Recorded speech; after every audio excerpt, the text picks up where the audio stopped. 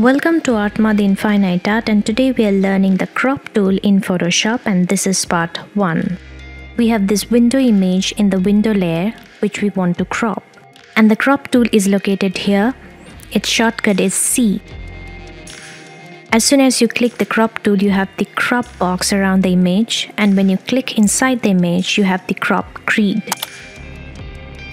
and you'll see the window layer has changed to crop preview temporarily. If you want to deselect the crop, click away from the canvas. Instead of clicking on the image, you can draw and drag your own crop area. To cancel the crop, you can click this icon and to confirm the crop, you can click this check mark.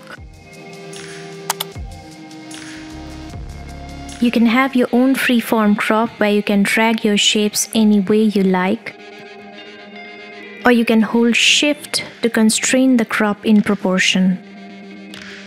Dragging the crop beyond the image increases the canvas. So this is the canvas now. Let me just confirm that for you to see. If you think you want to move the crop by dragging it, it will actually move the image, so keep that in mind. You can also rotate the crop at the corners. This time too you can see that instead of the crop grid rotating, the image has actually rotated. This crop area is essentially the new canvas that you're gonna see.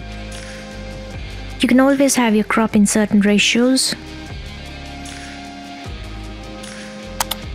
Let's say I want the width to be 1 and height to be 4. So no matter how you drag your crop, it will always be in that ratio.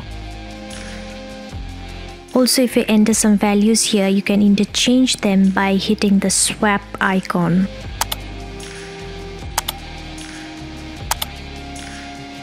To clear the input boxes, hit the clear button. There is a preset that you might need for print. It is width, height and resolution.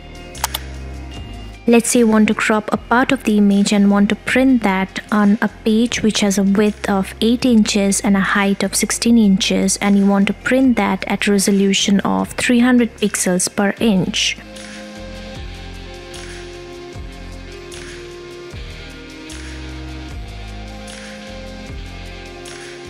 No matter how small or big the cropped grid may look, it will always print the cropped image with a dimension of 8 inches by 16 inches and a resolution of 300 pixels per inch in the page. If you click this icon, it will discard the crop as well as clear up all the inputs. The original ratio crops in the ratio of the original image the crop holds the proportion even if it drag by the sides or the corners. Try out all the other options like the 1 is to 1 square ratio and try to play around with them.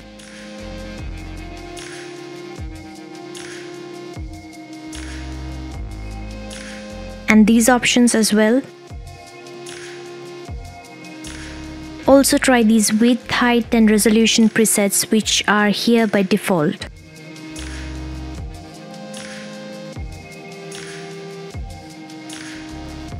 For the next option I'm using a different example.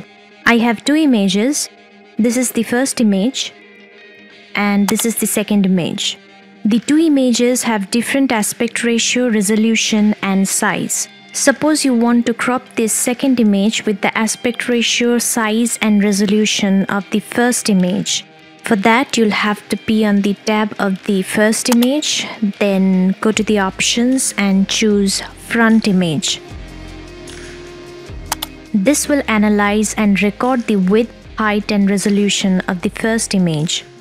And then when we go to the second image, click on it and then confirm the crop the image will have the same aspect ratio, size and resolution as the first image.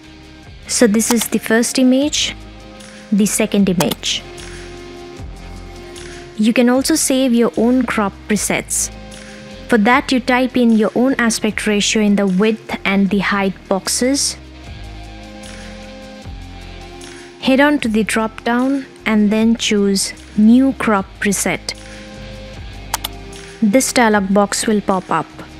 As you can see it has already taken up the ratio from the input boxes and then if you hit OK it will create a new preset of 3 is to 8. You can find your preset here under the drop down. You can always go to some other options and come back to your own preset later. You can also delete it by going to the drop down and then delete crop preset. This dialog box will appear.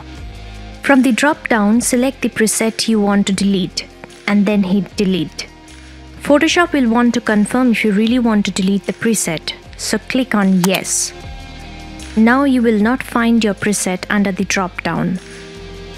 And this concludes the tutorial crop tool in Photoshop part 1. See you in my next videos. Bye.